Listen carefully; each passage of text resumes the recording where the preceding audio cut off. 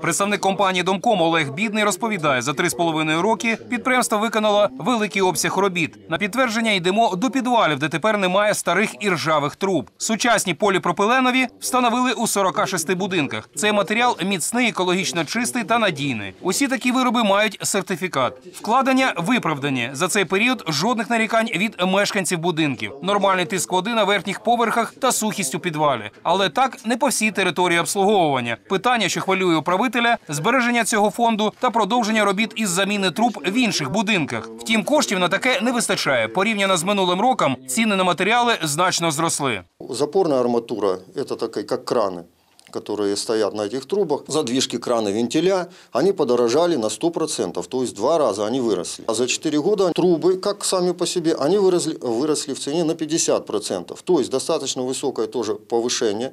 И это все мы должны вкладывать людям в тариф. Олег Бідний вбачає тільки один вихід з цієї ситуації непопулярний. Это повышение тарифов. Потому что ну, вы должны понять, что если не будет повышения тарифов, мы при ныне действующих сможем менять только кусочками. Без этого повышения тарифов нормального обслуживания просто не будет. У планах компанії подальші роботи із заміни труб, ремонту покрівель та фасаду будинків за умови перегляду тарифів. Резюмує Олег Бідний. Мы хотим и дальше двигаться, потому что это хорошо и нам, хорошо и жильцам. Мы сюда меньше заходим, жильцы меньше жалуются. У них все есть, они пользуются жилищными услугами в полном объеме.